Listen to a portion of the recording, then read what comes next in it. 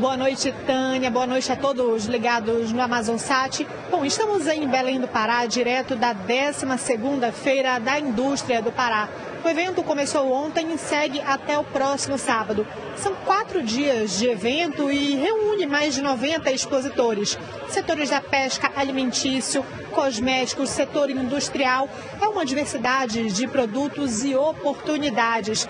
A expectativa é que mais de 25 mil pessoas passem por aqui durante esses quatro dias de evento. Bom, e vale ressaltar que o Amazon Sat está presente com flashes ao vivo, direto aqui da feira da indústria.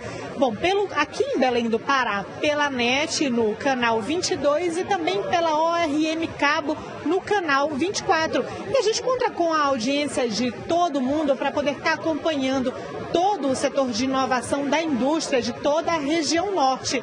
A partir de amanhã vai ter muito conteúdo com palestras, talk shows e cursos que vai rolar durante o dia todo aqui nessa feira. Bom, Tânia, eu retorno com você.